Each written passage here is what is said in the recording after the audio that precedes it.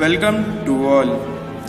We, the trainees of NTTF at RD Tata Technical Education Center, Jamshedpur, India, presenting our MSD project on coin-based water dispenser by group number 14. We are the final years trainees of 2016 to 19 batch of Mechatronics department.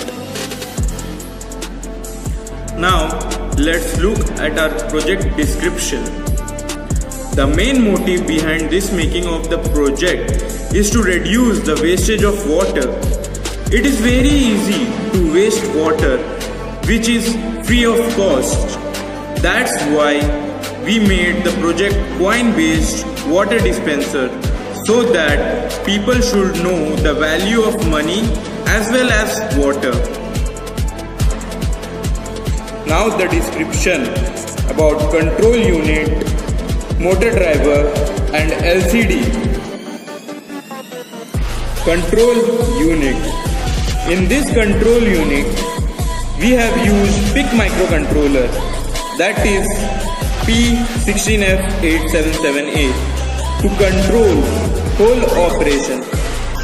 Along with this, there is a voltage regulation for 5 volt using IC 7805 as well as 12 volt using IC 7812 to power the coin sensor, PIC controller and motor driver. Motor driver. This module is used for driving the pump through the L293D driver module. The operating voltage of this driver circuit is 12 volt. LCD. This module is essential for the display of information to the public. The operating voltage of the LCD is 5 volt. Now, the main parts of our project is coin sensor through which the machine will sense the coin and it will dispense the water. The operating voltage of this sensor is 12 volt and it is named as CH923. Let's move on to the working of the project.